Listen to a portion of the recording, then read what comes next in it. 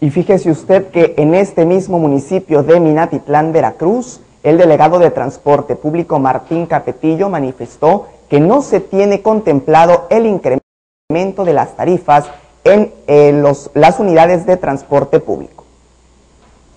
A inicios de este año no se prevé que el costo de las tarifas de transporte público se incremente en sus modalidades de taxi y urbano y solo se estará estudiando el factor distancia para la adecuación de los costos a aplicar por parte de trabajadores del volante. No hay, no hay ninguna este, eh, autorización. O sea, se ha oído rumores que hay gente que le está pidiendo, nosotros oficialmente no tenemos nada, inclusive, bueno, pues por en beneficio de la economía, eh, no ha habido, eh, sabemos, tenemos condiciones, ni siquiera solicitud para incremento de tarifas.